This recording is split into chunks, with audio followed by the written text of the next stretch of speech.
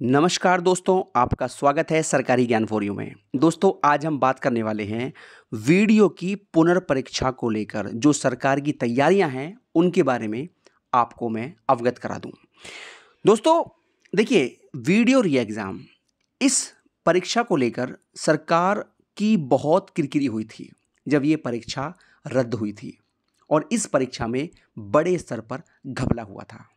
और ये बात बिल्कुल साफ़ हो चुकी थी कि उन्नीस सौ तिरपन सीट में करीब तेरह के आसपास सीटें बिकी हुई थी।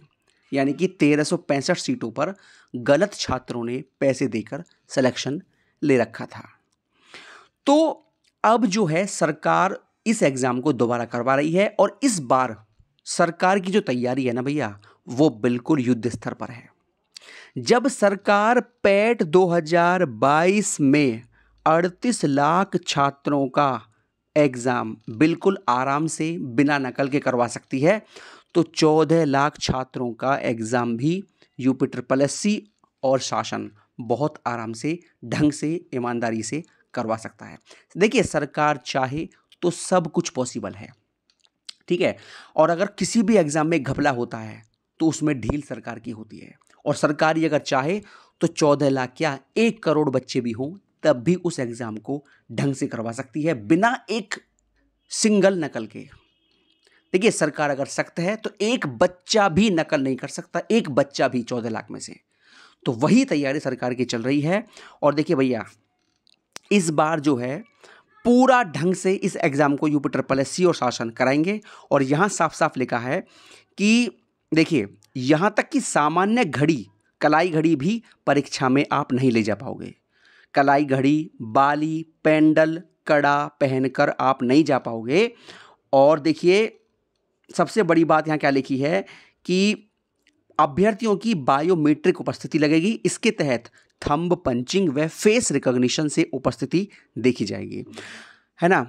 अब यह परीक्षा छब्बीस, सत्ताईस जून को चार पारियों में होगी और आपको बता दें इसमें देखिए प्राइवेट एजेंसी को सौंपी गई ज़िम्मेदारी। आयोग ने एक प्राइवेट एजेंसी को विशेष ज़िम्मेदारी सौंपी है। एजेंसी ही परीक्षा केंद्रों में सीसीटीवी कैमरे लगवा रही है, यानी कि हर परीक्षा केंद्र में कैमरा होगा।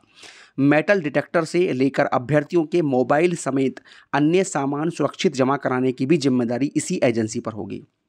यानी कि जब हम एग्ज़ाम देने जाते हैं ना तो वहाँ पर मोबाइल फ़ोन जमा करने की बैग जमा करने की सही सुविधा नहीं होती। लेकिन इस बार जो है, क्या है कि मोबाइल समेत अन्य पूरा सामान जमा करने की ज़िम्मेदारी जो वो एजेंसी के ऊपर ही होगी। यह परीक्षा प्रदेश के सभी सत्रह मंडल मुख्यालय वाले शहरों में सहित बीस जिलों में जो है आयोजित कराई जाएगी। ठीक है? और इस परीक्षा में जो है वन बाई टू की नेगेटिव मार्किंग भी है, यानी कि फिफ्टी परसेंट की नेगेटिव है, जो अपने आप में बहुत ज़बरदस्त है। और इसको लेकर भी आज ट्रेनिंग चलेगी, जो एग्ज़ाम कराएँगे टीचर उनकी। ठीक है? और बात कर लेते हैं दोस्तों रोडवेज़ बसों को लेकर। तैयारी क्या है कि रोडवेज़ कर्मी छात्रों की संख्या का आकलन करके कंट्रोल रूम भेजेंगे और 24 घंटे पूछताछ केंद्र कैंटीन और दुकानें खुली रहेंगी।